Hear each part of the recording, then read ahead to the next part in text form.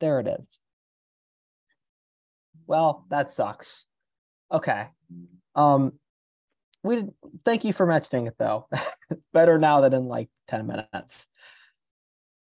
Yeah, so uh, we've got the HTTP protocol, and that's sort of what the, the language the web browser speaks. And I roughly sort of walk through there what happens when a web browser uh, speaks that language, kind of how it works. But like I said, all that stuff, it probably would be helpful for you to actually see what I'm talking about. So we can actually like see a request getting made. At least when I was learning the stuff, this helped me a lot. And we're going to use our friend Netcat again to do this. So this is another one of those exercises where I'm going to do it. And uh, you're welcome to slash, you probably should do it along with me. Um, I think it's a cool little exercise. So I'm going to open up another a terminal again here. I'm going to type in my terminal. I'm just following these instructions on the on the slide, but I'm going to type into my terminal sudo sudo space nc space dash l space 80. Now, if you remember from yesterday, nc dash l will start a TCP server. And 80 means it listens on that port, port 80. Remember, 80 is the HTTP port. Ryan, I'm sorry. Could you just spell that one more time? I'm sorry to interrupt. Yeah, no problem. Um, Thank you. This is in the terminal, right? Yep, this is in the terminal. If you uh, take a look at my screen here, it's right here. Um, or it's right here. So sudo space nc space dash l space 80. Um, yeah, or Mel put it in the chat. Perfect. And when you're going to run that, it's actually going to ask you for your password. And the reason why it's going to ask you for your password or using the sudo thing in front of the command, it's kind of a a bit more of a technical thing that we're probably not going to get into today, but just know that in order to run netcat on any port under 1024, remember yesterday we talked about those ports under 1024, sort of the reserved ports, the ports that like are have predetermined use cases already. In order to listen to one of those ports, you have to put sudo in front of nc for it to work. And you've also got to put in your password to your computer to make that work. And I'll put that in successfully, and sort of it'll it'll run and it'll be good. But that's what that sudo is about. Cool. So it's not anymore. Say that again. I have no idea where my what my password is anymore. Is it the same one I use to log on? Yep, the same way you use to log on. Okay. Um, also, I should mention, as you type your password, you're not going to see the characters that show up, and that's totally expected. So just type it as if you don't see the characters, and just assume it's good and hit enter, and then it, it should be should work. If it's the wrong password, it'll tell you. But anyway, cool. So we got this up here. Now I'm going to do the second part of this, which is I'm going to go to this in my web browser, localhost colon 80. Now, if you remember from yesterday, localhost, making a request to that local loopback interface back around to ourselves, 127.0.0.1, that whole thing, and then colon 80, port 80. So we're going to tell, we're, we're effectively telling the web browser right now, please make a request to ourselves on port 80. Localhost colon 80. Okay. And I'm going to hit enter. And what I'm going to see is it's sort of just going to like spin. It's like not going to finish. And that's expected because if I go back over here to my terminal, you're going to see I've got a bunch of text in it now.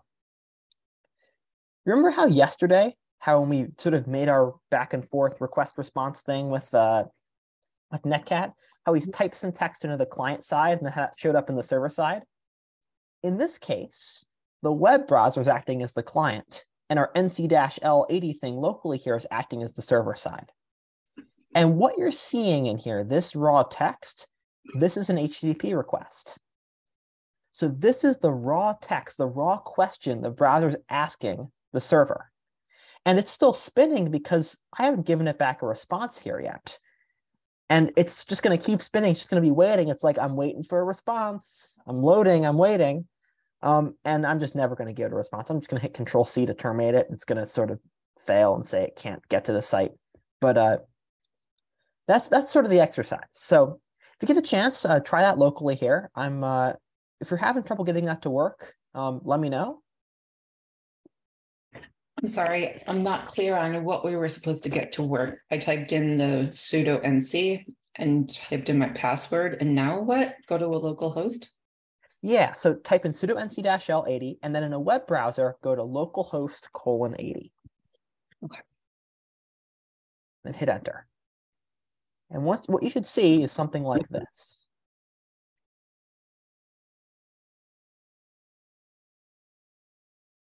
So are you talking to your terminal through the browser? What's happening here? Yeah, so my browser is making an HTTP request. It's sort of that top arrow going from client to server. My terminal here with nc-l running in it is a server, is a TCP server.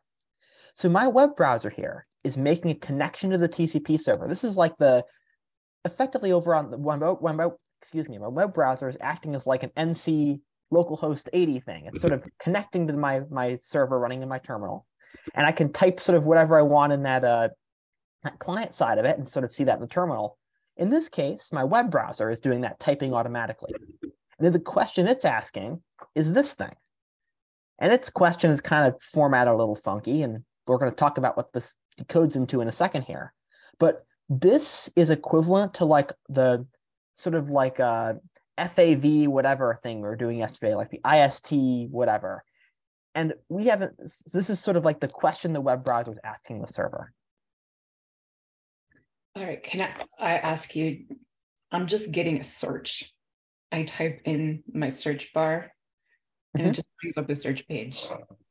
Yeah, did wrong. yeah. Uh, let's uh, share your screen. Let's take a look. Okay, looks like, um, oh, there it goes. Ah, you want localhost colon 80 without a space in between. Okay, huh, So, uh, but you're gonna have to take that and copy that into your, your bar up top, not into Google. oops.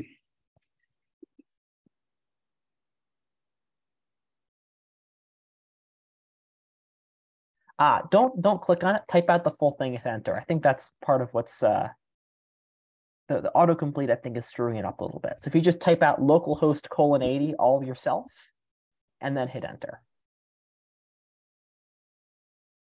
Okay, Well, I don't know why it said the that can't be reached, but it did show up over there on the side. Mine says the same. Is there, does it give you, um, uh, does it not connect if you got your password wrong? if you don't have your password wrong, it should show up in the side in the terminal. It should say incorrect password, try again, sort of thing. Um, if you'd like, uh, share your screen and we can take a look. oh, let me get rid of mine.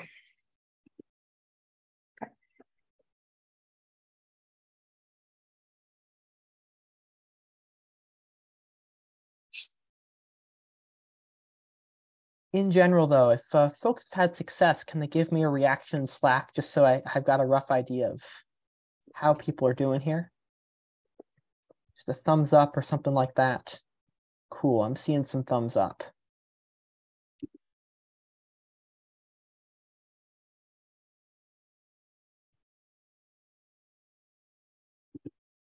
Sweet. Okay, I think, uh, oh, Artrell, you got your hand raised. This is a real random question. So I'm looking at the the text that populated when we did the local host. I noticed that in your computer and Jennifer's computer, right below where it said connection keep alive, it said something about cache and like max age like zero. Mine Mhm. doesn't show that. I was just curious. Curious. Yeah. So there are sort of, well, we're going to talk about it in a second, but there are sort of like differences in between the data that different web browsers are going to send in certain contexts. And I have a feeling that maybe we've got some different configuration on our system that's sort of resulting in different requests being sent. Okay. But we've got a whole day about those things you're looking at there called headers. So Okay. Yeah. Cool. Okay. I saw a lot of thumbs up, so I'm going to keep moving forward. Um, okay. Uh,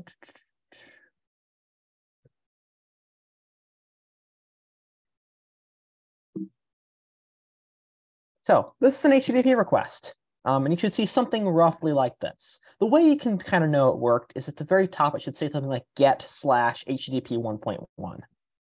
Um, that's a good sign if you see that. So we're going to sort of de deconstruct this piece by piece, this whole text bit here.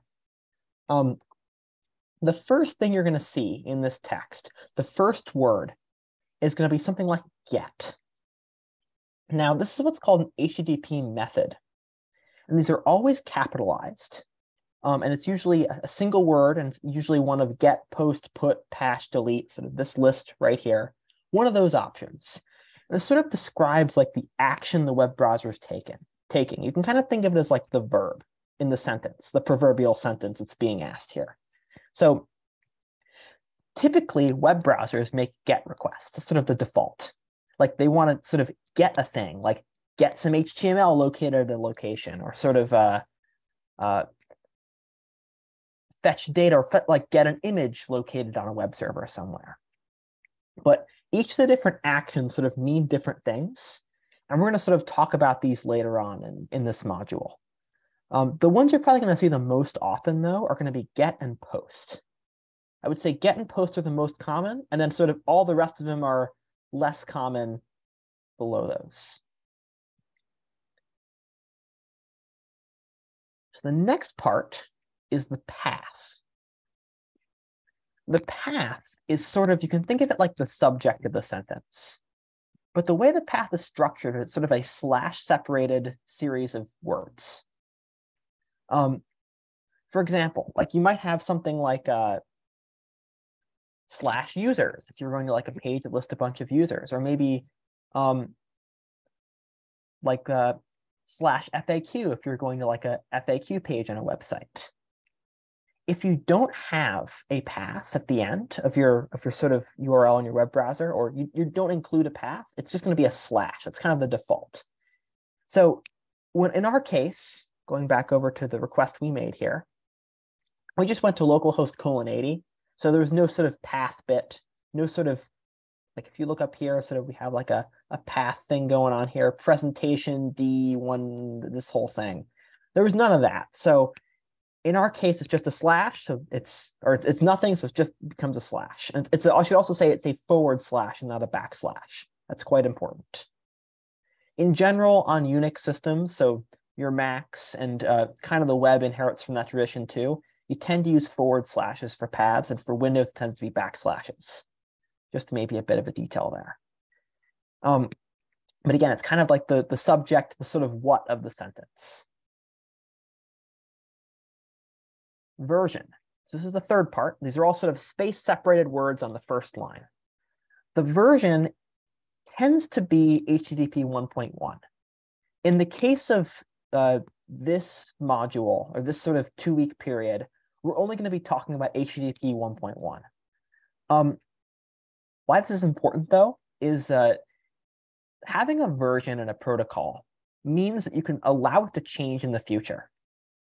So if you have like a protocol that's a version one, and then you decide you want to add some more stuff to it, you can now make that version two, and the client can read that version and be like, oh, this is a new version, and sort of can have special logic to parse the, the, the new language kind of that's version two. So it allows you to sort of extend your protocol and add more things in the future. HTTP 1.1 is probably the most common version of HTTP out there right now. HTTP 2 is sort of a thing and is gaining market share. Um, I'd say over the past like year or two, it's really started to gain a lot more market share. And there's actually such things as an HTTP uh, 3 and 4 too, but those are like very bleeding edge and no one's really talking about them yet, unless you like work at Google or something like that. So it's uh, generally HTTP 1.1 is what we're going to be dealing with, um, but you may encounter HTTP 2 in the future, but generally everything we're going to talk about in these next two weeks is going to apply to HTTP 2 as well. Um, but yeah, HTTP 1.1 I think is, is really the, the place to start with. Okay, headers. So Artrell, this is sort of uh, the thing you were looking at before here. Um, you'll notice that below that first line, you have a bunch of sort of like pairs of like thing colon value. And these are called headers. So think of headers as like contextual information you can include in a request to sort of give the server metadata about it. So in general, like this is information like uh, which what's the what's the web browser making the request? Or what's the format of the the contents of the request? You're gonna get to in a second. Or like uh, what uh, what's another good one? Oh, like uh, what sort of credentials do I have? Sort of do I have access to this data that's being requested? Um, and we're going to talk about all this stuff sort of in a, a future future uh, day here. But for now, just think of it as metadata. Think of it as sort of included extra data in a request. Um, I do want to mention though that there's a lot of sort of things we're going to be talking about on how to include metadata in a request. There's sort of a lot of different means you can do it. And this is one of, at least off the top of my head, three we're going to talk about in this class. So it's a, you're going to find that like there's a lot of sort of ways to do things and none of them are necessarily right, but like there's just a lot of, a lot of options. And this is like one way you can specify information in a request. This works really well when you have things that's like, like sort of uh, labeled data. Like you sort of have like a, a series of things that all have like a label or like a name and sort of an associated like piece of content to go along with it. Um, so that's why, and there's a lot of these sort of headers that are standard, and that's typically they sort of follow that format. Um, also mention real quick, you'll notice the way these headers are formatted is kind of particular. They tend to be every word in them is uppercased, and then they have dashes in between them. So like see here, see here accept encoding is like uppercase A accept dash uppercase E encoding. And that's actually kind of important um, this this this sort of way of structuring this text has a name that crazy programmers called it called train case. And the reason why they call it that is it looks like a bunch of train cars connected with little couplers. Yeah, I know it's kind of cheesy, but it works, I guess. Um, so typically you want your HTTP header names to be in train case. The values can kind of be whatever you want. You'll see some of them are numbers. Some of them are sort of just like plain text. Some of them are other things. Um, yeah. Now I want to also I want to mention one last thing here too, which is that uh, we had that first line and then you have a new line, a single new line. Then you've got a bunch of headers, and every header is on its own new line. So it's the header name colon space the header value, enter. Header name colon space value, enter. That format is very important.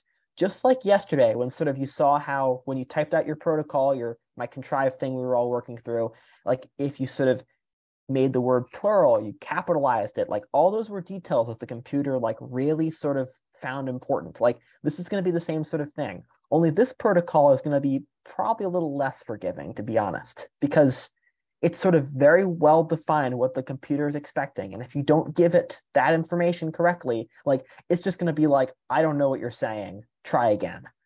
So again, like that first line, new line, and then a, a header name, colon space, header value, enter. Header name, colon space, header value, enter. That format. Okay. Lastly, here we've got the request body. Now, this is the one of the other ways you can include metadata in a request. Think of the, the headers as the, the headers are like a bunch of sort of key value pairs, so like paired information. The body is just like a big sort of chunk of text. So imagine you wanted to do something like submit a form or something like that, or submit like a, a you had like type a bunch of stuff into a text box, click like a submit button. Generally, the way you might represent that is by taking that content, text contents in that box and making that the body of a request you're making to a web server. Because it's just sort of like a big sort of chunk of unstructured data that's sort of just all there together. It doesn't really make sense to try to separate it and stick it into headers in some way. It's just sort of like it sort of acts on its own. It's sort of a large, uh, large bit of data. Um, this is optional. And importantly, bodies are not allowed in GET requests. So the method, when the method is GET, you cannot have a body. You can have headers. And someone's going to ask me why. And I will be honest, that I don't know, and this is just how it is. It's kind of weird and arbitrary.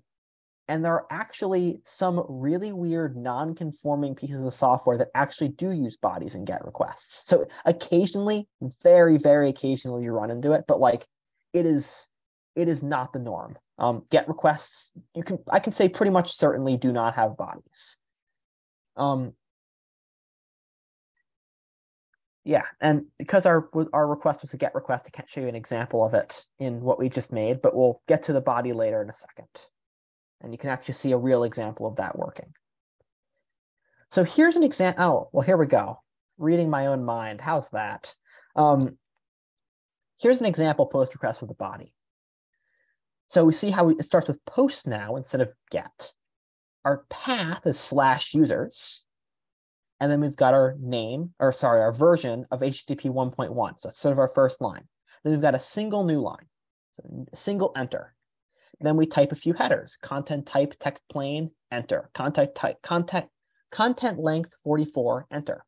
And what you'll notice here is that after the headers, to sort of separate the headers from the body, there's actually two new lines in a row. This is really important because if you think about if you were just going like word by word as a as the computer would and sort of reading through this, you get through that first line, you finish doing that, you hit enter, okay, you start in the header, you type header name, header value, enter, header name, header value. If you type enter and you start typing your body right away, the computer's going to think it's just another header. Like it doesn't, there's no way it can sort of determine that's not another header because it's just on a new line, just like the headers were. So that's why the two new line thing is so important. Because if you don't do the two new line thing, then you're going to have a, the computer is not going to be able to know that the, your body isn't just a header. This is, uh, I'm really trying to drive this point home because we're going to be doing some exercises in a bit here. And this is one of the places in the past I've seen students struggle the most. Like single new line in between, uh, between the first line and headers, a new line after each header, but then a double new line from the headers to the body. Cool. Okay. And also, just like yesterday, feel free to interrupt me if you have questions. Um, oh, Artrell, perfect. Yeah, okay. Um, I'm trying to follow what you're saying. So if someone was typing the uh, I guess that method post slash users HTTP, um, after they got the 1.1, they press enter, write the next line, then enter, then the next line again. But when it's time to go to the body, it's two spaces. Yep, two enters. Two enters rather. Yeah. So you effectively have an empty line, and that's what tells it to move on to the body. All right. Now, after that, are we the ones who would type in the quick brown fox jumps over the lazy dog? Yep. You would type out this whole thing if you were going to make a request. All right. Now, would the computer be the one to put in the 44 for the length, or will we have to count out all the spaces and put it in there manually? Great question. Um, typically, so tomorrow I'll, I'll let the cat out of the bag here. Today, we're going to make these requests by hand. But in typical sort of math class style, we're going to do it by hand the first day. And the second, the next day, we're going to learn a, about a tool to do it for us and make it easier. But like, it's good to know how the stuff works behind the scenes because it allows you to sort of troubleshoot and think through the process a little bit better. So for today, yeah, you're going to have to sort of manually calculate that length. And you're right, that content length header, it refers to the length of the body, as you're probably suspecting. Um, Tomorrow, though, and for pretty much the rest of the class, the computer is going to add that header for you automatically. It's just going to look at the length of the body and be like, oh, okay, I'll stick that header in there. All right, because I was confused if like that's what we had to do. I'm like, man, that's take that's going to take some time. Yeah, and today it's going to be a little tedious. But okay. Yeah. Good question.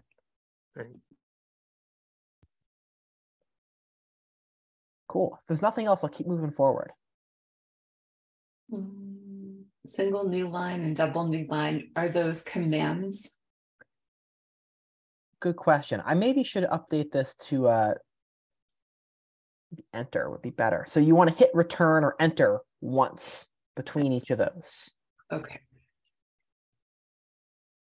So you type this out, you hit enter once, you type this out, you hit enter once, you type this out, you hit enter once, and then you hit enter again. So you can hit it twice to sort of go to the body. And it's sort of the double part there. We're gonna we're gonna practice this in a second. So we'll we'll go through this a few times here. Okay, Now we get to talk about the other part of HTTP. So we talked about the request, how that's formatted, but there's also the response. So remember, the request is what the client sends the server, and the response is what the server sends the client. So this is sort of like the answer to the question. And because I want to make my demo work here some more, I am going to make, I'm going to send a response back to my web browser. So this was one you might have a little tricky, bit of a tricky time doing on your own. If you have the presentation open though, um, and you click on this text box here, and you copy the contents, like hit like right click and go to like select all or wherever it is, or I guess Command A works too, and then copy it. Like you're gonna want to use its exact contents of this box. Like don't try to just copy it by hand. Like you want to use like the exact text. Um, what I'm going to do is I'm going to do my request demo again. I'm going to start up my uh, my thing here, sudo nc-l80, and type my password, do that whole thing. And then over here, I'm going to go to localhost 80. Same thing I did before. I come over here. Hey, we got my request here. But what's different this time, oops, is I'm going to go over here. I'm going to copy this. I'm going to paste this in here. What's this doing? Well, my web browser asks the server a question. This is a answer to that question, an HTTP response that I've sort of pre-typed out already. And when I paste it in that terminal and hit enter, that's sending that back to the web browser. So I'm sort of responding to that request manually. And when I go back over to the web browser, you're going to see hello world. Isn't that kind of cool? So you're welcome to give this a shot on your own if you'd like. I, I, am looks like a number of people have the presentation open right now. Um, But and I I can see it. say that again. Sorry. I'm sorry, I don't remember where the presentation was. Is it Oh. yesterday's outline? Yeah. Uh, let me post it in Slack here. Uh, I Looked in today's and I didn't see it. It's the same presentation as yesterday. To be clear, maybe uh, maybe that's something I need to do. I need to include it in the outline every day. Um, Mel posted it on the chat, so if you want. you Oh, can see there too. Perfect.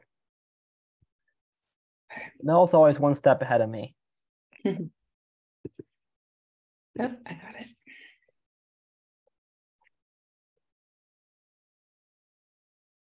Cool. Yeah, the reason why you can't just type this out manually is Google Slides with some weird stuff with like double spacing. I can't figure out how to undo. So like this actually, if you like were to paste it in like a thing that has proper spacing, looks a lot different with the, the new lines and all that. So that that's why I bring that up. Um, yeah, I, I guess I because of that, I'm not going to say like everyone should try it on their own, but I'll, I'll maybe uh, if I'll gi- give folks maybe like a minute or two if they want to, and then I'll keep moving forward. Yeah, I do want to try it. So I have to be in my terminal. And I have to copy and paste that exact text in the box on the right. Yep. And if your request sort of terminated, you may want to sort of cancel out of it and sort of do the little demo before again. Um, it's possible like requests can kind of time out after a while if they have got not, not much in activity. Um, so that, that's possible, but give it a shot either way and you can see. No such file or directory. Oh yeah, you probably need to. Uh,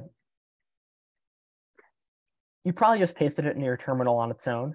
Um, you've got to sort of run the nc-l80 thing, just like sort of we did yesterday, and then go to it, get the request, sort of get the request to happen, and then after you've done that, paste in your response. Need to, I need to do the sudo nc thing. Yep. Yeah. So if you do sudo nc-l80 in your terminal, and then you hit enter, and then you go to your browser tab you had open before and you refresh it, effectively that that would work. Or, or make a request to it with that localhost colon 80 thing.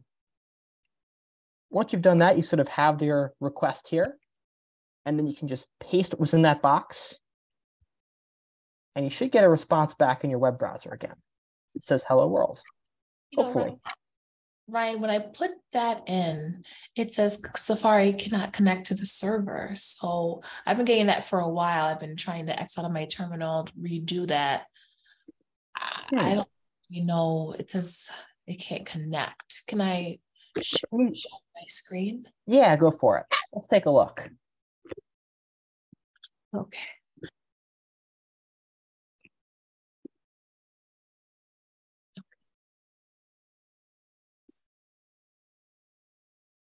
Ah, yeah. So you see there, you did uh, NC dash one, not dash L, I think. Oh, That's the one. that's an L. It's an L, just like yesterday. Dash L for listen. Oh my gosh. Okay, thank you. Yep.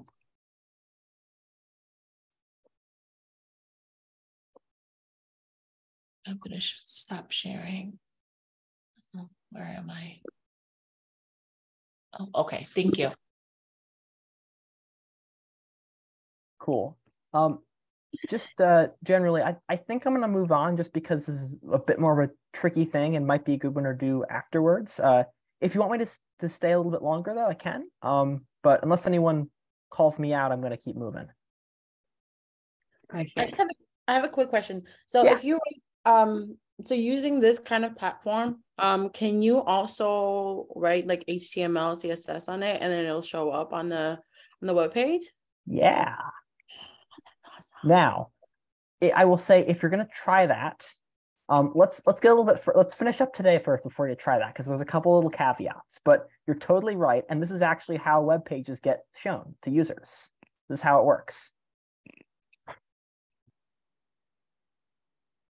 That is awesome. Cool.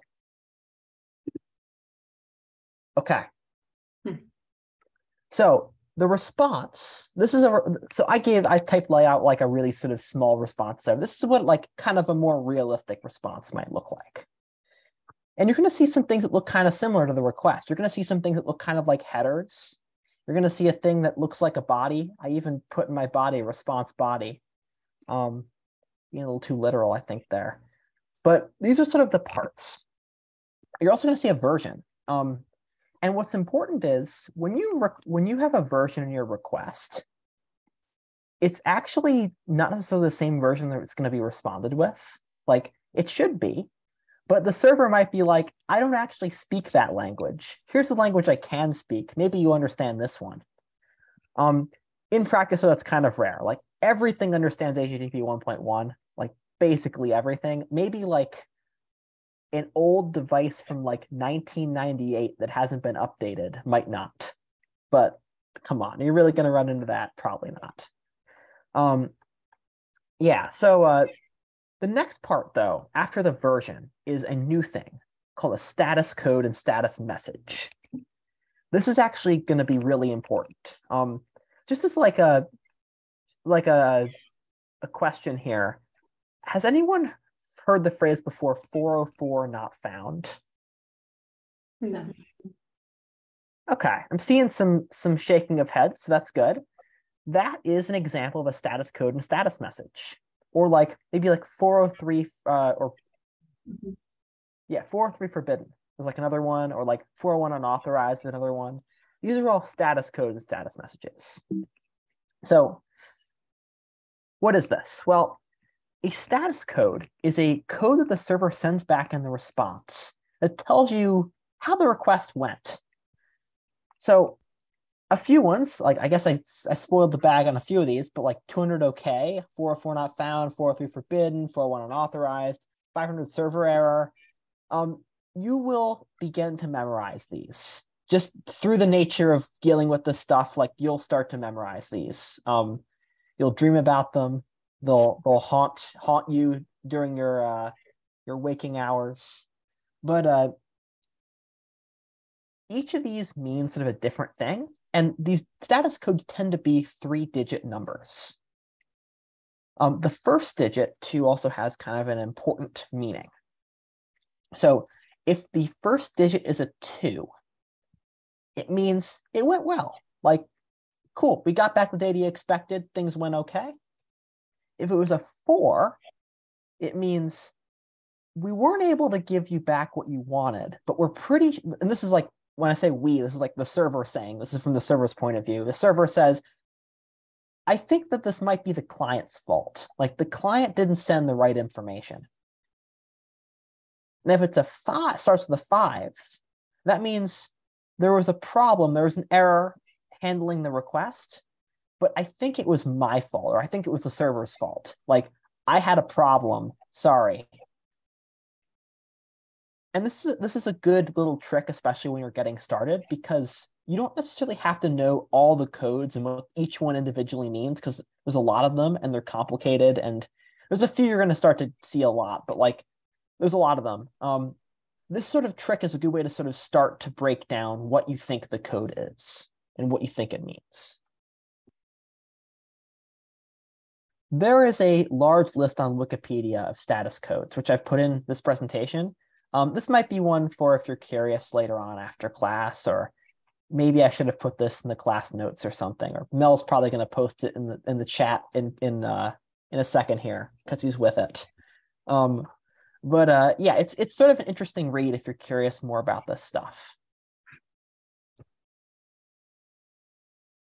Um, oh, I thought I had one more thing on the status codes. Okay, I guess I didn't. Well, then I guess we're going to go through a few of the common ones just so you're sort of familiar with them. So the the the default status code they're sort of going to see if things go well, like the sort of like, yeah, we gave you the answer you wanted. That's a 200 okay. If you see 200 okay, that's a that's a sign that things worked out in your favor. Um, so it starts with a two, so it means things went well. Um, it's sort of the first of the 200 series codes. It's kind of the first one that was assigned. The next one you're gonna probably gonna see a lot of is 404 not found, which is what I mentioned before. 404 not found means that the path you specified in your request is incorrect. So think of it like you're asking about, you're, try, you're trying to look for a thing that doesn't exist. So it says 404 not found. We can't find the thing you want. So when you see a 404 not found, that usually means you want to take a look at your path and there's something up with your path in your request. 403 forbidden is a bit more of a uh, behind the scenes one, 401 unauthorized R2. I don't think you're going to run into those as much, um, but they're four, so it means that you did something wrong. And if you look at that status list that I linked, you can read more about them. 500 server error, though, is a good one to know about too. Um, so this is, I'm trying to go through like some of the more common ones from each sort of category.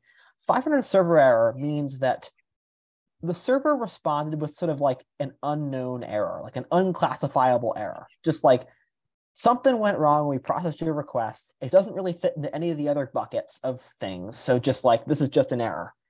And generally, if the person running the server was a little lazy or didn't really understand all the codes or didn't want to pick something more specific, 500 is going to be the, like the default of like the server didn't work or the server had a problem. The other one I want to mention too is 400 uh, bad request. Now, I didn't put that in this list, but I'm going to add it because it's actually probably a good one to have in here. 400 bad request. So you'll notice that each of these that are like the number with zeros after them, like 200, 400, 500, um, they're sort of the generic versions of each. So like 400 bad requests means like something undefined occurred and there was a problem with this request, but I think it was a client issue. Like the client forgot to include like a header or used the wrong method. That might be a different one, but it could be a 400. Um, or like didn't include the right data in the body or skipped the body, just didn't include a body altogether. Um, and typically, when you have a 400 or you have a 500 too, these more generic ones, the body of your response will contain the contents of the that like will sort of tell you like what's actually going on. So like a common thing you might see is like 400 bad request. You forgot to include a header in your request. Please include that header. So then what you do is you sort of see that and you say, okay, cool. Okay, let me try to make this request again. Well, this next time I'll include the header. So then you include the header, and then the next time you get a 200. You're like, oh, sweet. Okay, that solved the problem. So it's like a common workflow you'll go through in dealing with an, an API that exposes data over HTTP. Cool.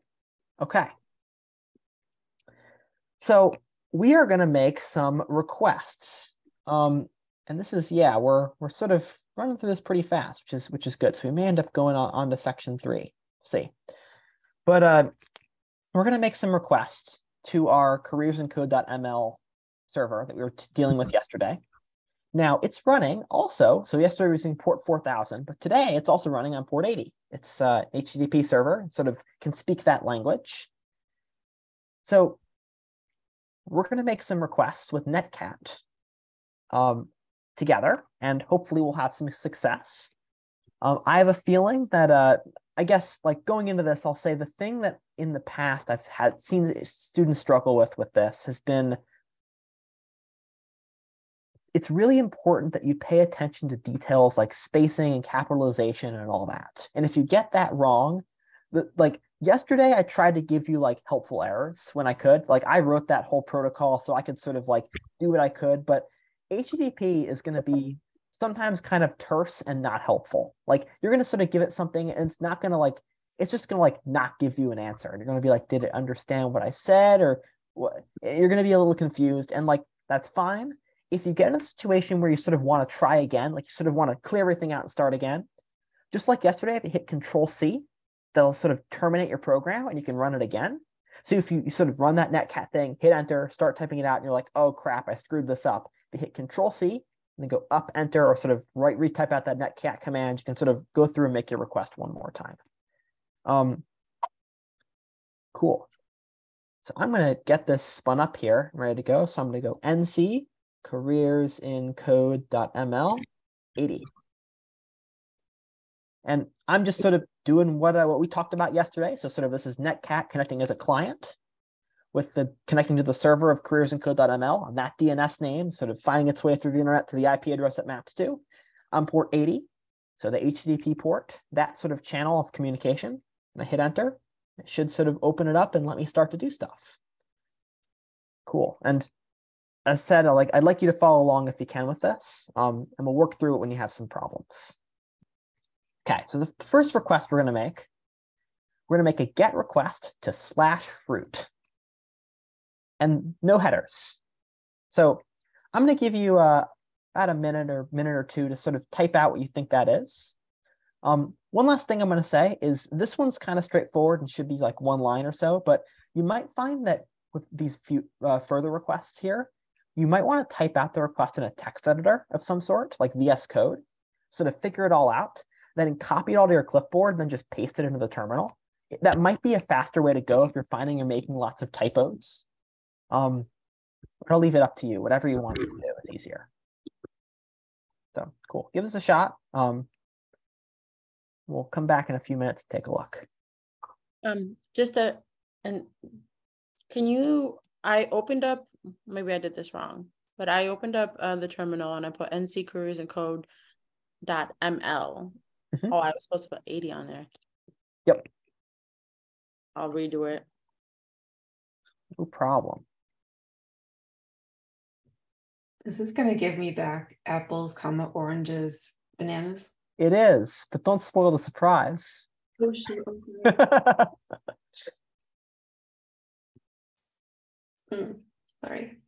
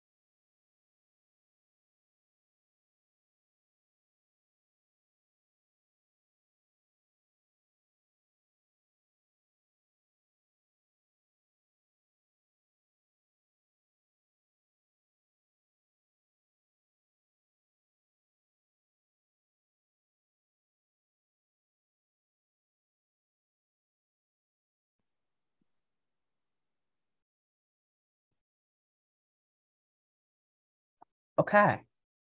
Can uh, folks give me a little reaction in Slack if you've had some success?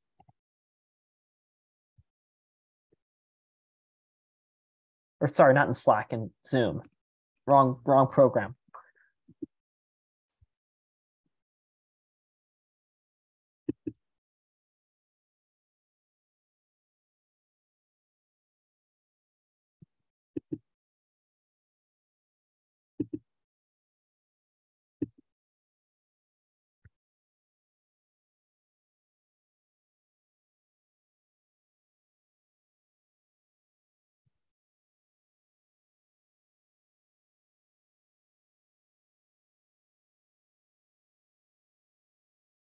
So when, I put that in terminal, it, comes back with a 404 error and command.com. So could, it be that I'm not using my laptop to find tables because it's kind of like glitching right now? So I'm using my other one. I think I might be hearing some feedback. Uh, who was that speaking? Sorry. Uh, Alondra. Um, it's, yeah, yeah, yeah. Can you hear me? I can. I'm hearing an, a bit of an echo though. Um, okay, I'll reconnect it. Hold on. Okay. Or if you want to type it out in the in the chat, might be easier. It's just it's a bit hard for me to hear you if you're talking fast and the echo. Sorry. Um, in the meantime, though, Artrell, you have your hand raised. Yeah, I'm having terminal trouble. No problem. Let's so let's take a look. Okay. Uh,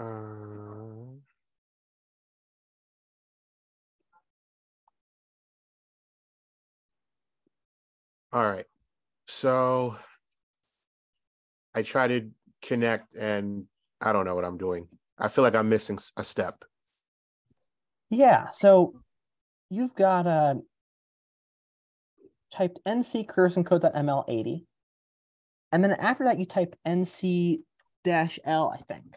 But I didn't press enter. All right, so I'm a, I, I'm Yeah. leave it at that. I'm hit return. So I just just to be clear, once you've sort of run that nc careersincode.ml80, you're connected to the server. You sort of have initiated that TCP connection. Now everything you type is going to go directly to the server. So if you were to type nc-l, like that's sort of a command you run on your local system to sort of start a web, to start a TCP server that you could then talk to locally. You don't really need that if you're just talking to a server out there on the internet somewhere. Okay, so what can I type in to to get a response? That's that's where I'm kind of confused right now. Yeah. So if you go to, uh, let me check what the slide number was. Uh, gosh, uh, slide 93 over in your presentation there. Yeah. So take a look at that. So we've got sort of our method, our path, and it sort of says other things there. The goal sort of is for you to take that information up at the top and sort of format that into a request. So I need to type this stuff in and see what I get, Yep. But you want to format it in the HTTP protocol. like I sort of- this. Yep, and I sort of included those snapshots of the slides below for some hints. But uh, Okay, if you type that out um, and you just format it correctly, you should get back a response. And you'll know that you got it right if you see a 200 status code in the response. okay. All right, I will give it a shot. Cool. Thank you. Yep.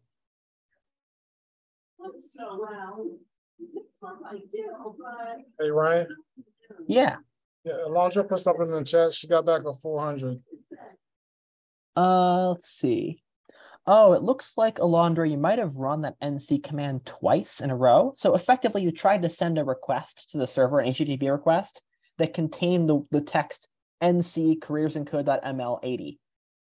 That's not a valid HTTP request. So you got to sort of type out the, the method, the path, and the version, and all that sort of stuff to make the request work.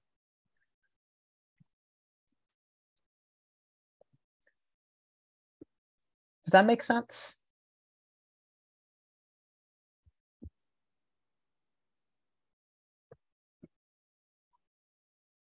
Ah, cool.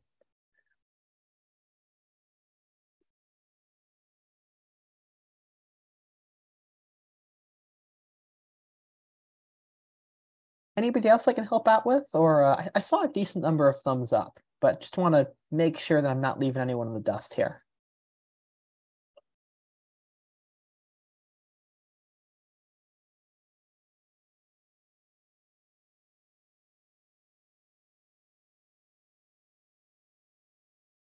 Okay. I'm going to assume nothing is a good response given the thumbs up I saw before. So let's go through this together here. Um, if anyone wants me to hold off for another minute or so, let me know. But so I'm going to run my NC careersincode 80 thing. I'm going to connect to the server. I sort of can send whatever I want to it. I'm going to put my request together here. So looking at sort of this example request as, as a way to sort of reference, I've got a, a method, a path, and no headers. So I start with my method. So I'm going to type out get, G-E-T, all uppercase, space, then my path, so slash fruit, then my version, HTTP slash 1.1, and I'm going to hit enter. Now, this is where I type my headers, but I don't need any headers. So I'm just going to type enter again. I'm done. So it's time to move on, so I'm going to do that. And hey, there we go. I got back a response. So let's take a look at this response here.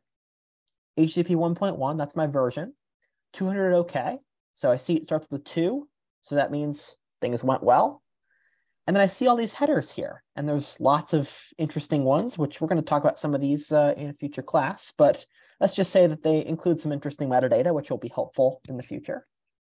Um, and then I have a body here, apples, oranges, bananas that got returned from the endpoint. And there we go. So Ryan, I forgot to put in the path and it still worked. Oh, really? Just did like get space HTTP 1.1? I did, I'm sorry, I did get slash fruit and that's it. Oh. Huh, wow, it does work. My server's a little uh misbehaving then. You should you should put the version. Um, it might assume HTTP 1.1 if you don't pass it. That's interesting. Huh. Learned something new today. But uh yeah, generally you want you want to include the version if you can.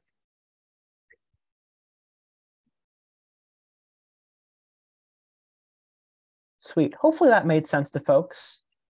Um, please stop me if not, but otherwise I'm going to keep moving because we got a bit more of a fun request coming up here. Okay. So I made a route or a path on the server called text processing frequencies. And you can make a post request to it.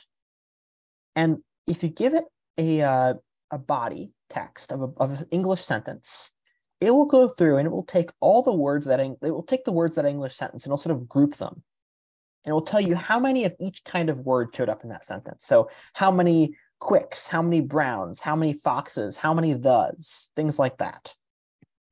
So that's sort of what, what this endpoint should do. Um, so I'd like you to try to uh, make a request to it and we'll see how that goes.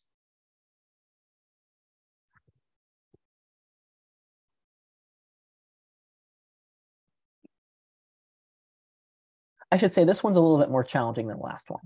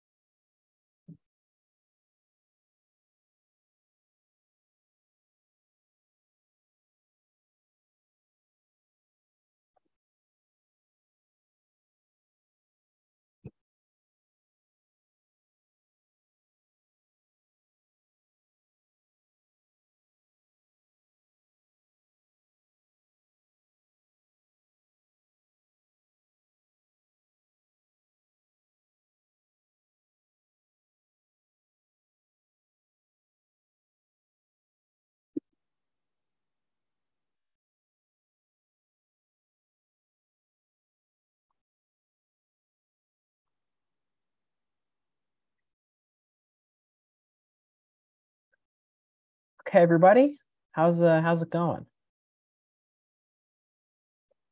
Success, not success? Hmm. Not, not yet. A little more time? Still another minute or two. Okay.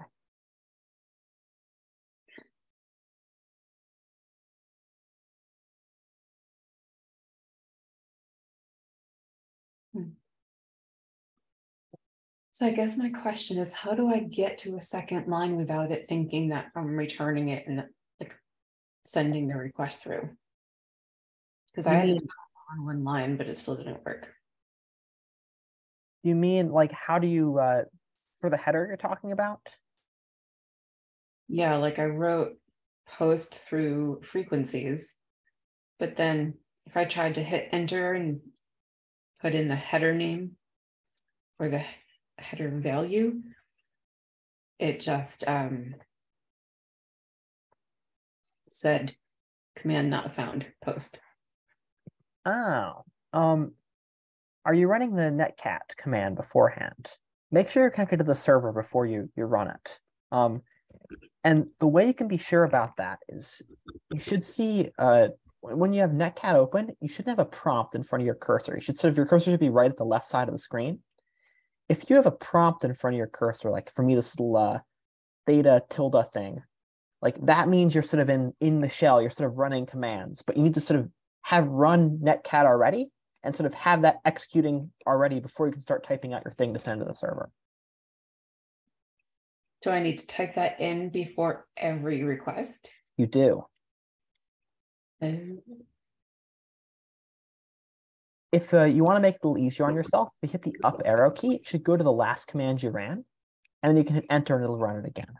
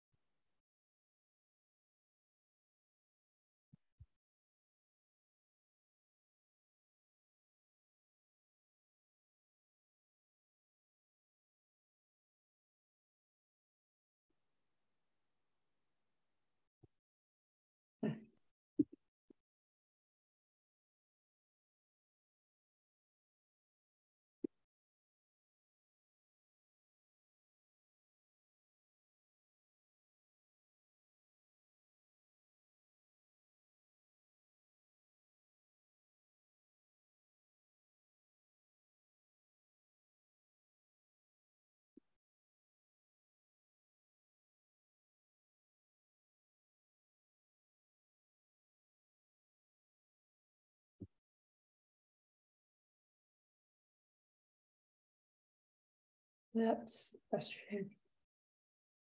Yeah. So I I was typing in the NC careersincode. Started to write post, hit return so I could go to the next line. And it kicked me out and said that it was a bad request. Yep. So if it would be helpful, especially with this request, this is sort of a bit of a longer one. It might make sense to do something like uh like open up VS Code and to type out your request in VS Code beforehand, just sort of uh, uh can I do that? Oh gosh. Um I'm not that good with VS Code. Uh um okay.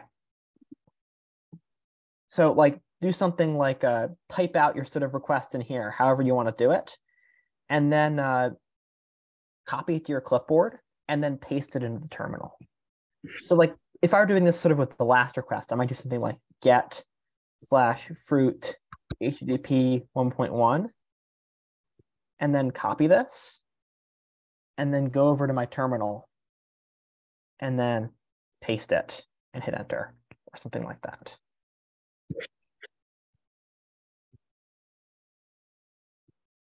So leave it up to you, whatever you think is going to be easier.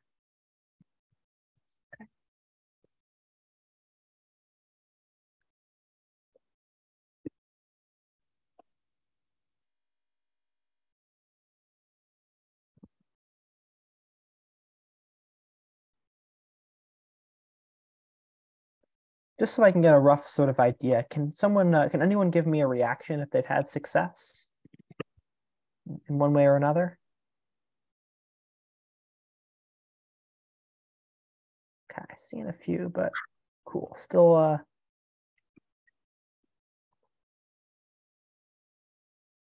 Do I actually have to write header name and then the content length? Or do I just write content length? you just want content length. So if you look at sort of the example requests here over on the left, or sorry, over on the right, wrong direction. Um, you, the way you sort of structure headers is sort of the, the header name and then the colon and the header value. You sort of substitute in those, those sections. So if I had a header called like test and the header value of like example, then it would be test colon space example, enter.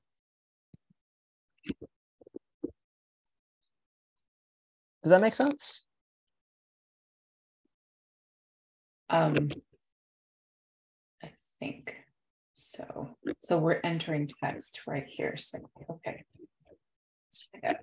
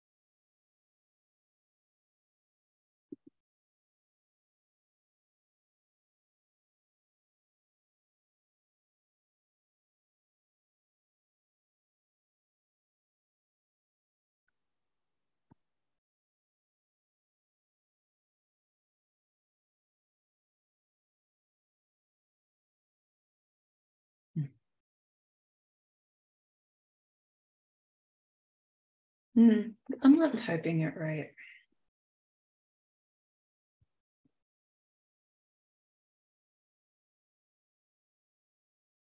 Can I share my screen with you? Yeah, go for it.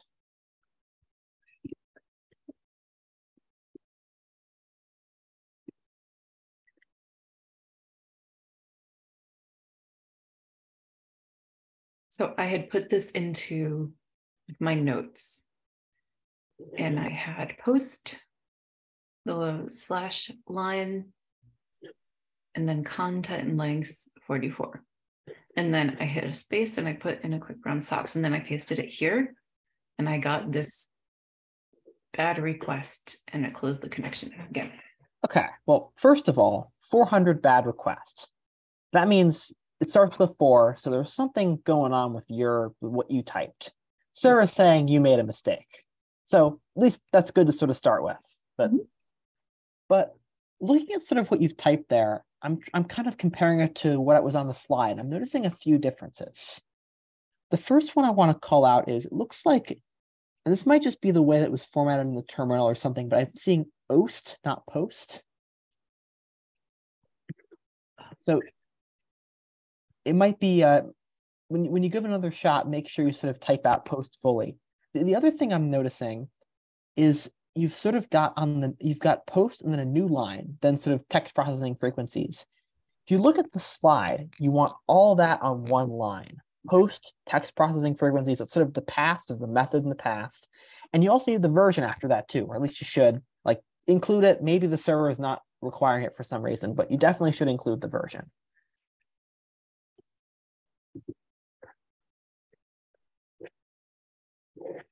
see, check the slides.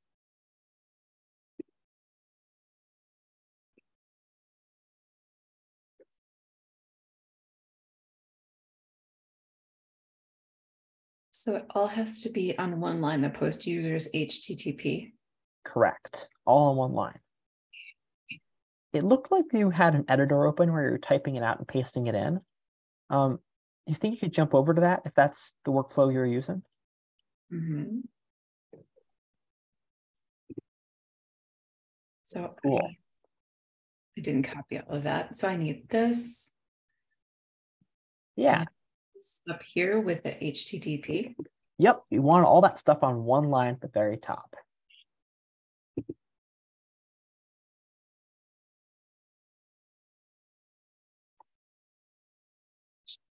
and slash one point one.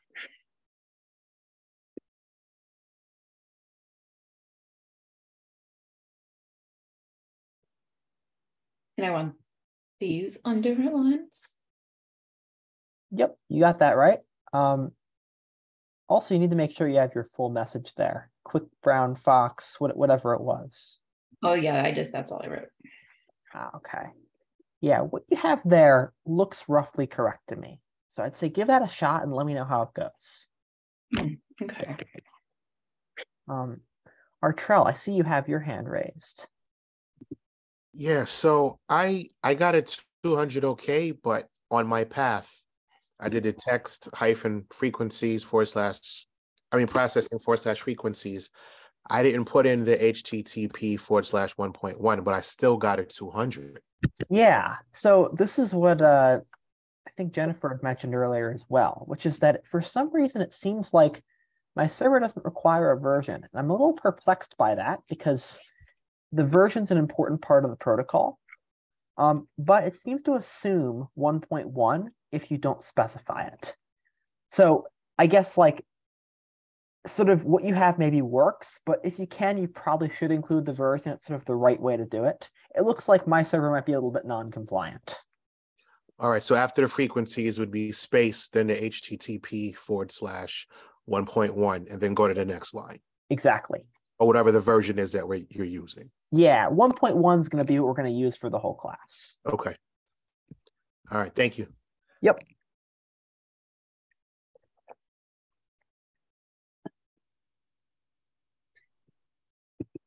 Now nothing happens when I hit enter. Like Hit if I- enter one more time. Okay. It just keeps going down the page. Hmm. Share your screen. Let's take a look.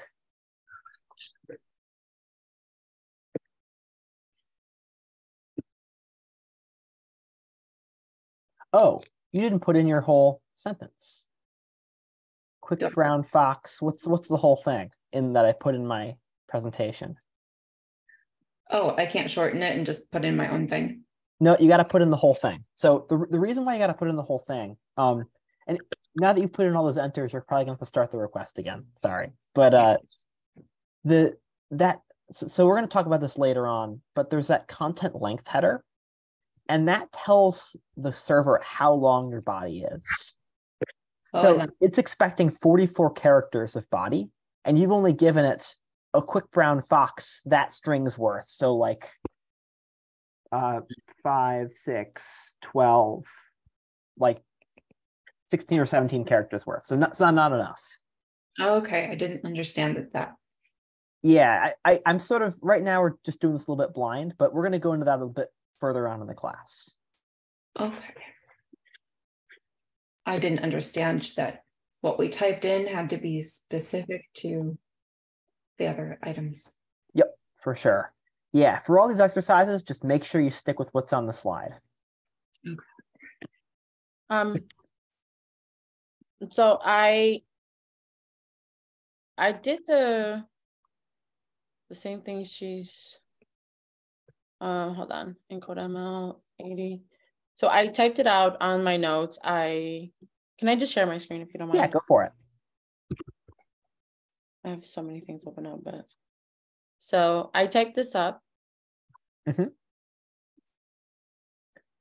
Uh, could you make your window a little bit wider there? Just I'm I'm curious if the. Okay, cool. Yeah, and if you paste it in, what do you see? Huh, it all shows up on one line like that. That's kind of weird. Um, if you go back over to your your uh, text editor for a second there, um, Do I put two, right? yeah, you want to put two. It looks like maybe you have three there now, though. Sort of, there's the new line after the 44, and then another new line after that. I think that's the only one- the only one you want. Um, for some reason, I'm thinking the editor you're typing this in in the notes thing here isn't like respecting new lines or something. I don't know. I'm kind of confused why what you're typing out in the in your notes isn't showing up over in the terminal like you expect. Mhm. So if you don't mind, take what you have in the notes there and copy it to your clipboard and go into VS Code and open up a new tab and paste it in there and make sure it looks right in there. Hey, Exona, Yeah. um, in your HTTP, you forgot the forward slash between the one. Maybe that's what it is. We were getting there, Artrell. Oh. Sorry. but no, good good catch. Um, and yeah, give it a shot. I think there's there's something else going on though, other than that though. Okay. Um, so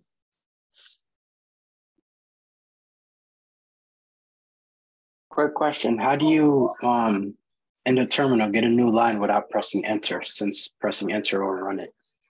Yeah, one one second. Actually, uh, uh Exona, you probably wanted to click uh replace there, but you see all those like question mark things? Replace all those with new lines. these with new Yeah. lines. S- something is weird about the way your notes thing is working. It's sort of doing weird stuff to the text. If you So it take, should be like this. yeah, take that, copy that, paste that in your terminal, and I bet that's gonna work. Okay, where's my terminal here? Oh, you gotta run NC first. It's I think it's already running. No, it doesn't look like it is. You still have a prompt there where it says Exona at Exona, Exona's MacBook Air.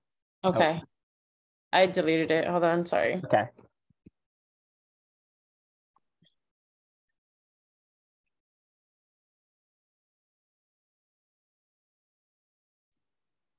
Cool. Yeah, there we go. Perfect. Nice. Thank you. Um, yep, no problem. I think that was Snyder. You were talking. I, sorry, I cut you off there. What was your question? Um, how do you uh, enter a new line without pressing return, since return will run it in the terminal? You're talking about in the the netcat sort of uh, interface. Yeah, yeah. so once you've run netcat and you sort of you, hit enter and you sort of don't see the little prompt on the side anymore if you hit enter it's sort of going to just send that to the server. Um the, the way you can get out of netcat is by hitting control c. So it's sort of like when you're in netcat enter does what you'd think enter would do enter doesn't run the command. Does that make sense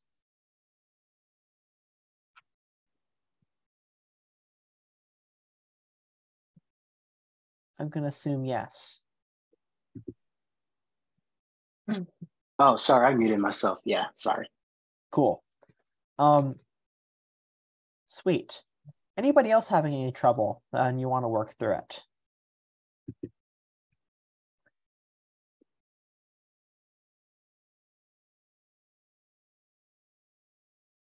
Cool. Well, we've got about five minutes till I was going to take a break, and we can either start the next one or we can sort of take a break now and do the next one after we get back.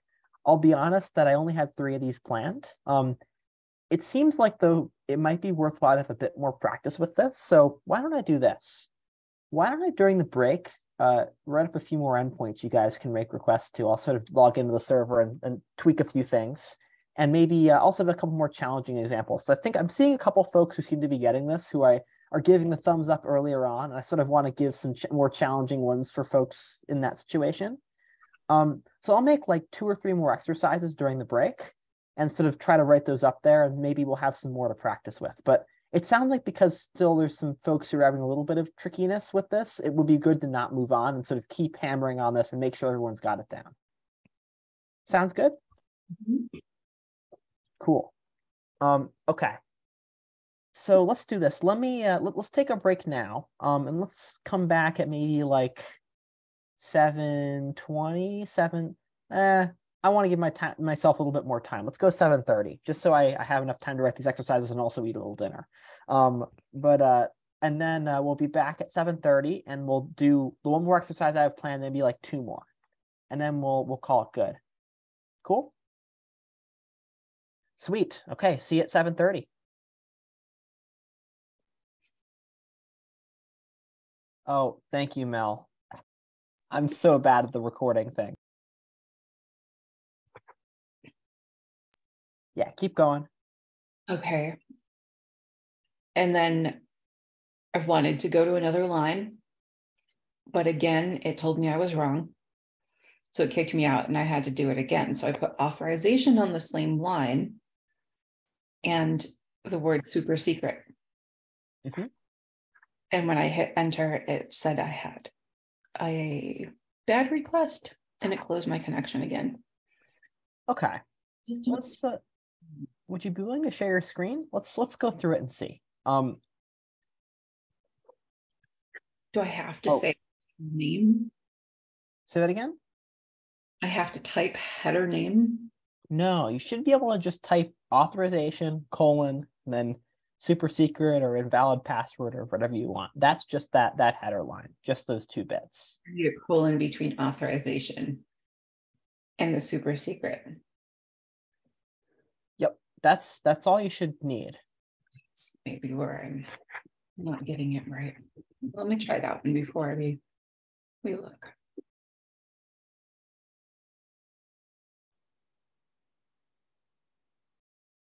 So you can either choose not to unlock the box by making up something else, or you can use the super secret and unlock the box.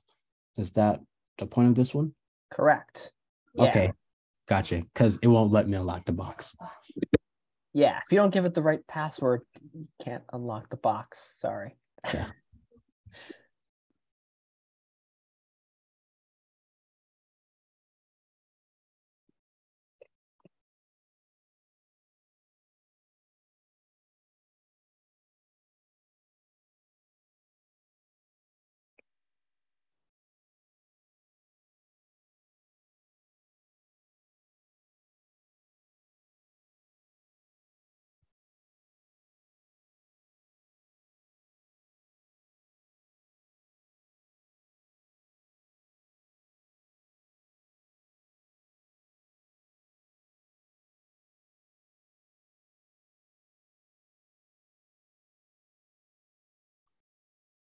All right. Now I want to share my screen. Sure.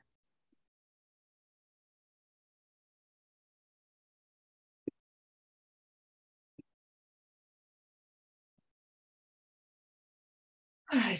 So what am I doing wrong here? I got into the server. Mhm. Typed get slash lockbox HTTP, and you said a semicolon. A new line. So remember, you've got that first line and you hit enter. And then now you can start typing out all your headers. Yeah. So every time I hit enter, then it will tell me something like, you know, data request or command not found. If you uh, click in your terminal and rerun that nc careersincode.ml50, Like right here. Yeah, so notice how when you typed that in front of the command, you have that little percentage sign where it says Jennifer Harris at Jennifer's Air. I hadn't been in the server. Yeah, that means you're running that as a command in your terminal, and that's not going to work. You've got to connect to the server before you run it. So if, if you see before the thing you're typing a little prompt like that, sort of saying your computer's name and all that, it means you don't have the server, the, the connection with Netcat open. So I guess that's where I'm confused because I had it open up here. And I- Yeah. And then that's what it gave me before I tried typing in. Oh, um, when did you open that? Did you open that during the break? By chance? I think so, but I've since put the new. Yeah, so I restarted the server briefly during the break so I could publish some new code. Um, you probably re- connected to it right when I was restarting it. And it was like, wait a second, there's no server running here, and it threw up an error. But so that that's probably what that error is about. Um, you shouldn't run into that again though. Okay. Um, before you hit enter here, note you've got get slash lockbox. There's no space in between. The formatting here is really important. Seems.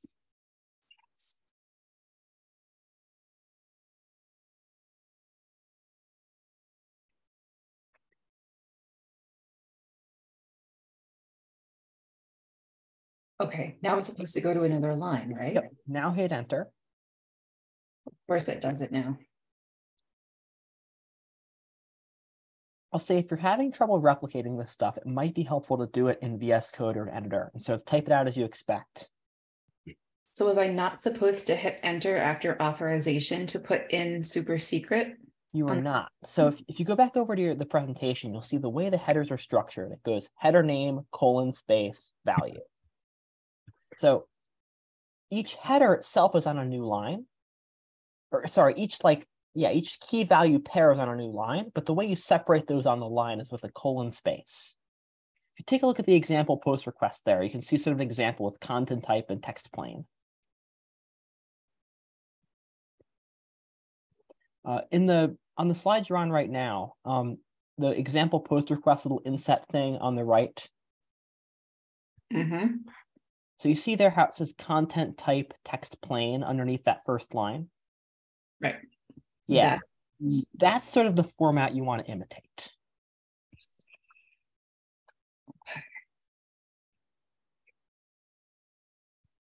All right, I'll give it another try. Cool.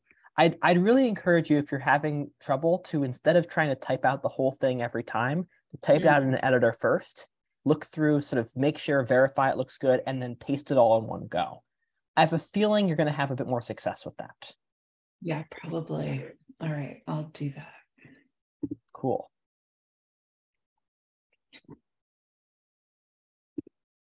Um, someone had asked about the the outline. I thought you all had access to them in Canvas, so I haven't. I, I didn't post it, but I'll post it in Slack after the class too. Um, it's uh, I filled it out though ahead of time, and I think Mel looked through it too. Um, it was Jordan and he has it. Oh, okay, never mind. I mind. sent I sent this to him. Sounds good.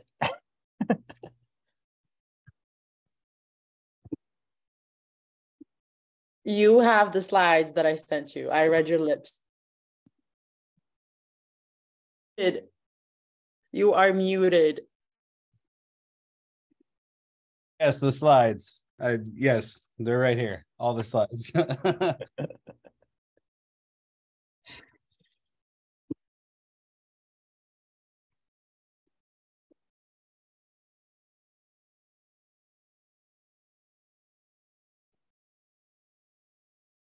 Anybody else I can help out with the, with the exercise? If uh, if we could just get a little thumbs up in in Zoom to see who's figured it out. Yeah, um, I'm having a difficult time with mine. I tried, I tried it different ways. Um, but it's not working. Do you mind if I can Sure, go for share it. my code? My screen, I mean. Give me one second. Okay, so I. Oh, that's not what I want. Okay. Anyways, so I have, this is what I have for mine. Okay, that looks And right the- to me. Okay. I swear to God, if this works while you're here, it's gonna, it's gonna be.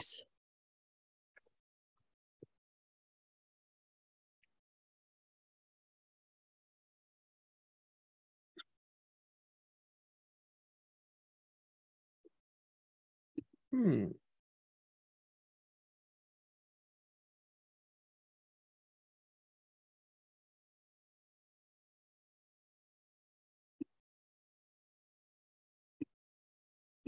Yeah, that's that's kind of strange. Okay, try this. Try typing it out by hand. I'm curious if the paste is causing some problem. It shouldn't, but maybe It it worked is. last time. Um, I can, hold on, I gotta quit out of the terminal again. Do If you uh, just just so you know, if you hit Control C and you've got a command type like that, it'll sort of clear it out for you. Um, Oh, con- control C. Yep, Control C will sort of get you back to your prompt again, a clean version of your prompt. Okay, so I don't have to do this again. Encode that amount. Eighty. Okay, so it's. It slash block box HTTP. And so what do I press to uh, to go one line under? Yep, hit enter. And then type out your header.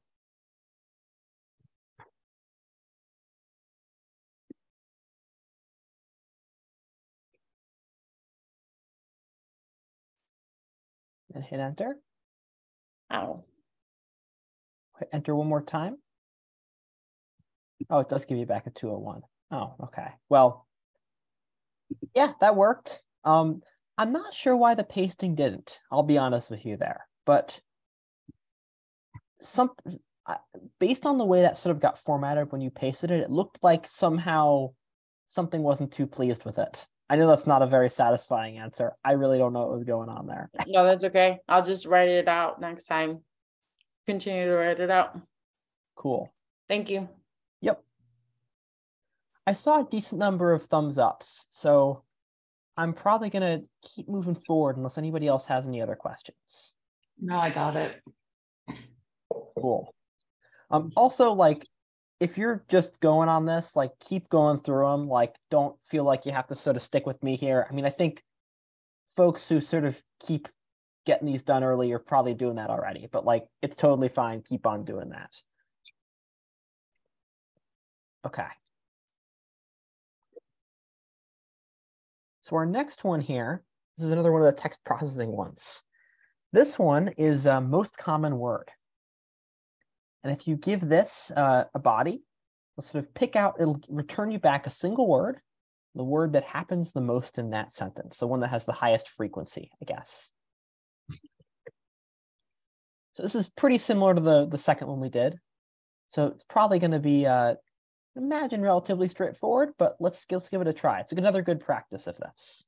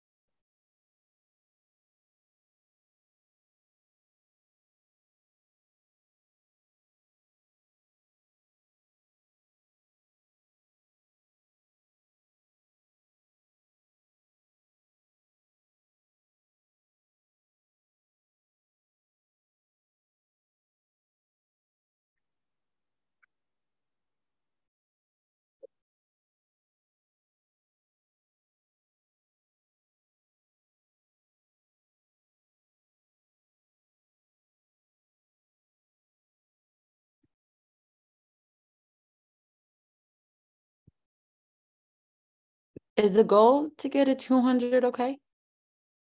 The goal is to get a 200 okay. I don't know what's going on with my terminal, but that's what I keep getting. You keep getting a 200? Yeah, 200 okay. HTTP 101, 200 okay. That's good. Okay, cool. That means, I mean, 200 starts with a two. That means you got back what you expected. The server's like doing, yeah, it's, it's, that's what you want. Nope, I saw the the at the bottom. Got you. I understand Yep. now. Cool.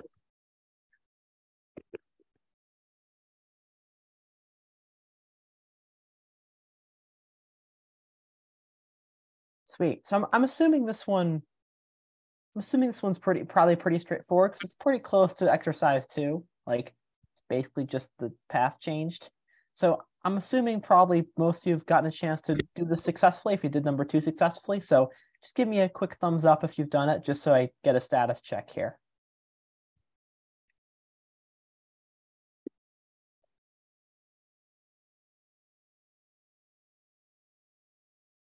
Cool. I'm seeing a decent number of thumbs up, so I'm gonna keep moving forward here. Yeah. Okay. Um. Ooh, this one. Um. So I'll be honest. At the point we're at now, there's not really too much I can have a server do without doing some more advanced things. So a lot of these are kind of similar. The thing about this one, though, this one I think you might have some fun with because uh, you can do some more advanced things than just the sentence I typed. This was actually a kind of a fun one for me to write. I'm using like some fancy machine learning stuff behind the scenes. Whatever, doesn't really matter. But like, so give this one a shot with the sentence I typed there. But I think ideally, like try to put in another sentence, maybe something with uh, so, so like I guess I should also say what this does because I didn't put a description. So this is this endpoint does what's called sentiment analysis. It will look at the sentence you type and it will give you a value from zero to one or like a percentage sort of of how positive it thinks a sentence is. So if you write a sentence like I love puppies, that's going to probably rank pretty high. Or if you did like a sentence like I hate careers in code, that would probably be pretty negative. Um, I hope you don't hate careers in code, but I don't know. Um, so uh, this is in hindsight probably not the best sentence. This was what I just like wrote wrote while I was half eating dinner and half typing. So uh, yeah, I need to let me update this and make this a real actual sentence here. Um, let's see. How about like I liked that before. Uh,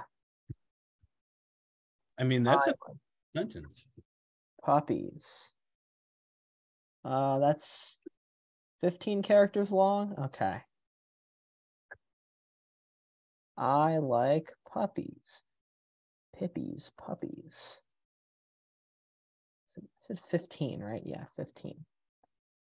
Cool. Do that. Um. Oh wait, no exclamation point. Eh.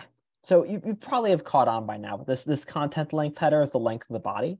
So I'm I'm encouraging you give it a try with something else if you sort of are getting the hang of this here. Um, if you really want a bit of a challenge, try something like a long bit of text, like a paragraph. Um, keep in mind that if you have text that has new lines in it, has enters in it, each of those enters counts as one character. So if I did something like I space like enter puppies, that would be the same number of characters as I space like space puppies. That makes sense. So give this one a shot. Um, usually some inside baseball here. Usually when I write stuff quickly and we do it in class, it usually doesn't go well. So this one could very well not go well. but we're going to give it a shot and see. All right, so if I change my sentence. Mhm. and I'm doing this in VS Code. I have to count out my spots, Yep, you got to count out the number of characters. put it in the content length. There also is a thing, I think. Um, eh, okay, maybe not. Um, if you select some text in, in VS Code, there might be a way you can tell how long it is. I might be able to count them for you, but can't figure it out off the top of my head.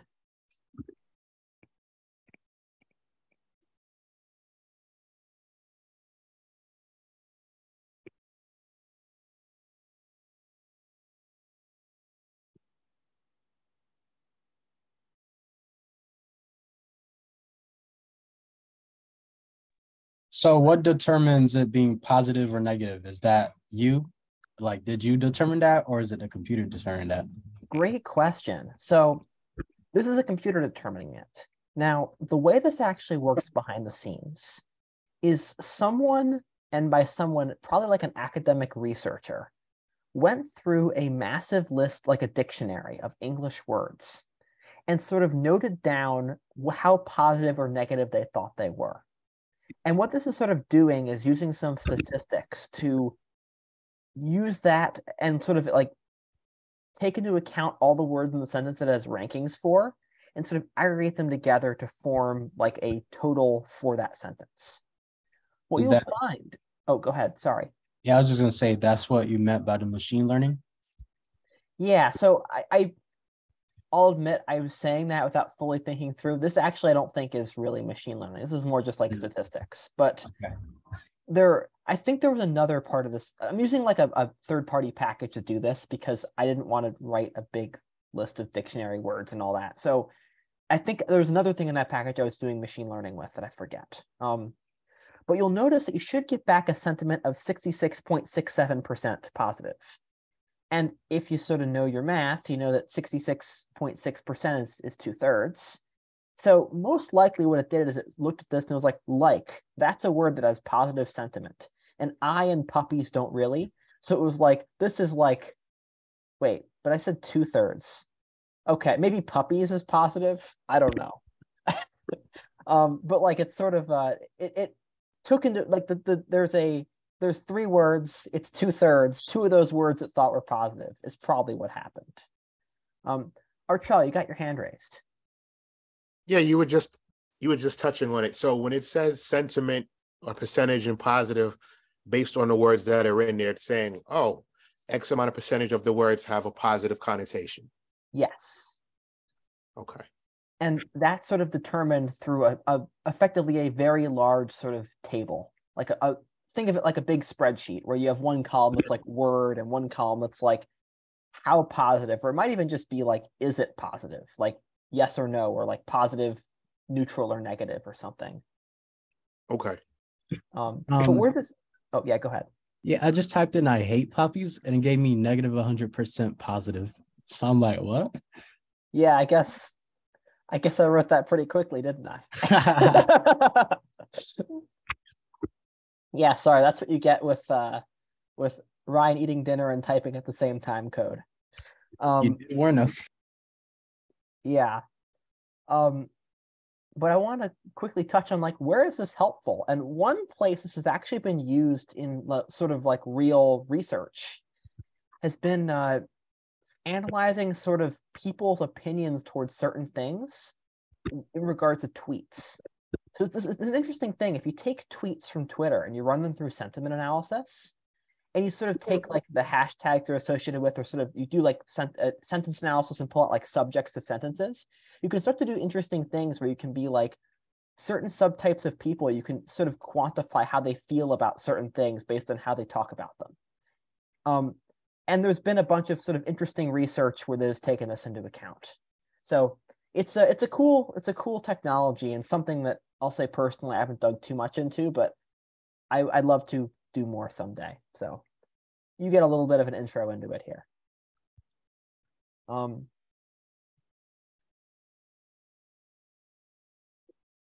cool. Right. Any, oh yeah go ahead. Content length, is that supposed to be words or characters? content length is the number of characters in your body Okay. so if it's i like puppies it's 15 because 15 characters in that including spaces All right. So I went to a word counter online and I put it in. Didn't like Yeah. me. a word counter is not going to work it's got to be a character counter um It, it does that too. Oh, okay. So actually, since we're going all command liney here, there's a command you can run called WC in the command line. This is like way above and beyond. So if you don't want to, you don't want to listen to this, that's fine. But you type a sentence like, "This is a sentence," and you hit Control D, it'll give you the number of characters. Um. So that's one option, but if you can't tell, I'm kind of a terminal fan. It's kind of a way I tend to do a lot of things. So I, I kind of gravitate towards that stuff, but you may not, and that's fine.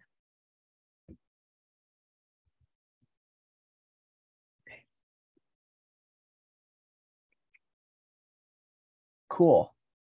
I think uh, largely, I think folks have have had success with this. I mean, it's kind of the same sort of thing as what we did before. If you've been able to try it with your own phrase, though, uh, really good. That's uh, should be a little more fun. Uh, we've got one last one here that's a little bit different. Um, this is another one of the quickly put together ones.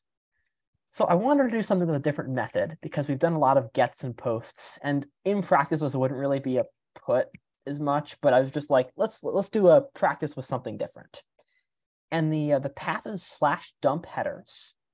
And this one we're going to specify two headers, hello and world. And this is a header, and this is the value. Notice the second header name is in that train case we talked about. So uppercase every letter, and then dashes in between. And then, uh, yeah. So that what this endpoint should do is it should give you a list, sort of give you back all the headers you specified. So give this a shot, and uh, we'll see how it goes.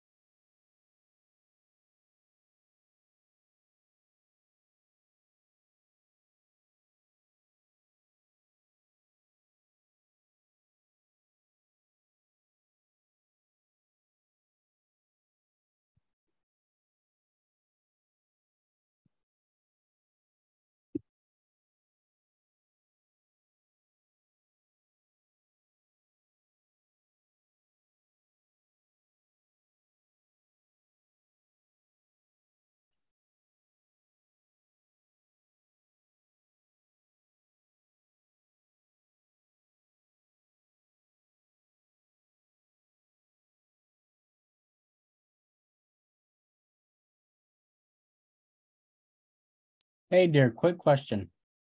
You know, mm-hmm. in the other ones where we would have to put in the content length, and in this one, and some of the other ones, the content length is automatically read. So, like, what's happening there? Yeah. So in general, content length is a header that when we get sort of into more, I mentioned earlier that this is not really how you make requests. Like this is kind of the the like longhand, we're teaching you how to do long division thing in math. And then tomorrow we're going to talk about how to use a calculator. Like this is sort of that. Like so in general, that content length header will be generated for you by tools that make these requests. Okay. Um, we're typing it out manually because it needs to be there. Um, but if you don't have a body, you don't re- it's not a requirement. Like it sort of assumes content length zero if none is specified. Gotcha.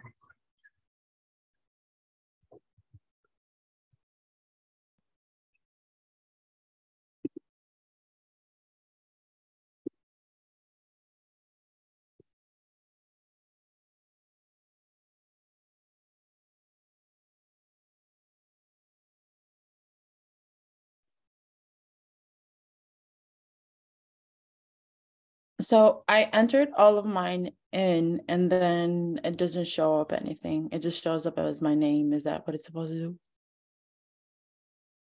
Uh, say that one more time. I entered everything in the way that it's on here. Um, but then it shows up nothing. Uh, maybe share your screen. I'm curious to see uh, what's going on there. Yeah, can you stop sharing Oh. your first? Yeah, sorry. Uh, stop. There we go.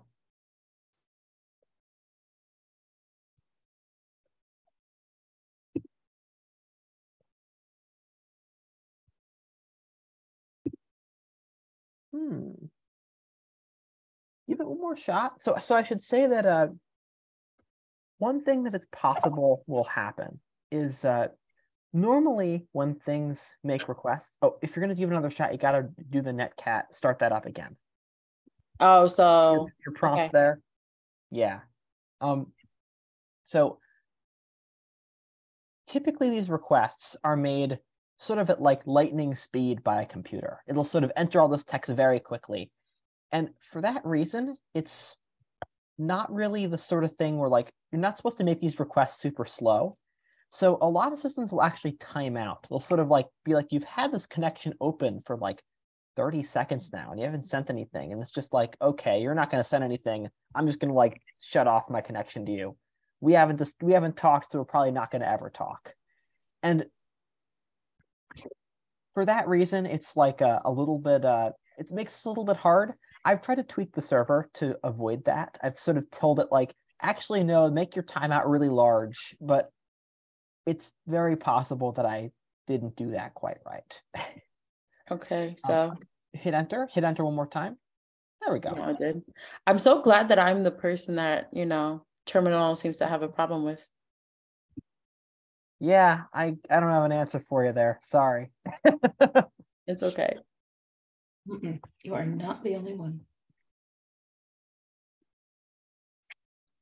So is it just supposed to reproduce the header? Yeah, so if you look at a, a Exona's screen here, you can see that it says down there headers, hello world, this is a header, and this is the value. So it's sort of the, the body of the, the response. It contains sort of a, a printout of all your headers. Dump headers, dump out your headers, kind of maybe makes sense, print them out. I don't know. Um, but you see, I was like, wait, it didn't dump anything. I thought it was going to get rid of a header. Ah, okay. The way you can know it worked is you see that HTTP 1.1 200 okay, so you know sort of it got a response back to you. If you see that, you're good. I saw that and I was like, I guess that's what's supposed to happen. Yeah. Cool. Sweet. Um Cool. I think that's the last one I got here.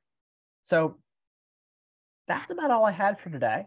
Um just as a preview for tomorrow, tomorrow we're going to be talking about sort of the calculator here. We did the long division. How do we do this for real? We're going to talk about some tools you can use to make HTTP requests.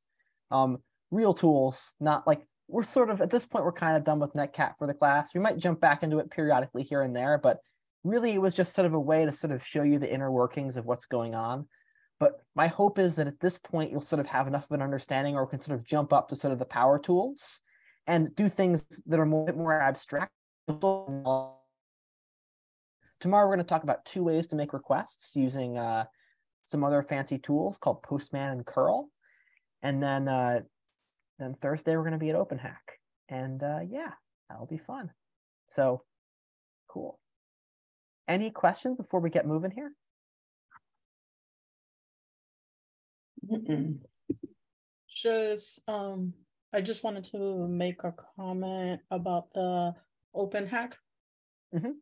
Like Exona said before, if anybody wants to bring anything, um, to kind of share as a group or as the class for whoever goes to do kind of like our Christmas get together. Um, um, since a lot of us are probably gonna be going out of state or doing other stuff with family members pretty soon. After that, it's gonna be the only time that we could probably get together or to talk or to do anything. Um, I am making um coquito and um arroz con dulce. So I'll be bringing those two things. If anybody else wants to bring something that kind of reminds them of the holidays um, to share with the people there. That's really cool. Yeah. I'll be there. I'll bring something. I don't know what, but I'll bring something.